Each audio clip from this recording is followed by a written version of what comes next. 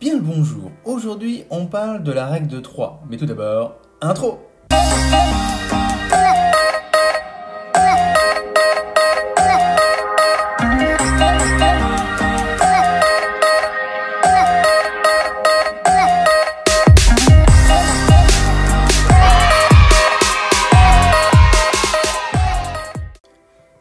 Dans une situation de proportionnalité, il n'est pas possible de trouver ce fameux facteur de proportionnalité, il faut donc calculer la quantité pour une part et ensuite on multiplie par le nombre de parts désirées. C'est la règle de 3.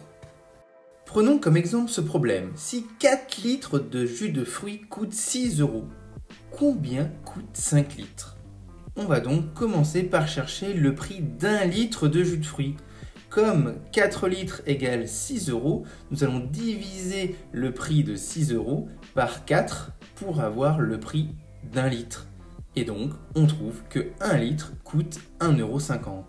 Ensuite, il suffit de multiplier le prix d'un litre de jus de fruits par 5 car on veut savoir combien coûte 5 litres. 5 fois 1,5 égale 7,5.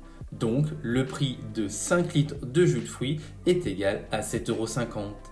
Et voilà pour aujourd'hui. J'espère que pour toi, la règle de 3 est maintenant une notion plus claire. Si tu as bien aimé ma vidéo, n'hésite pas à mettre un petit pouce bleu.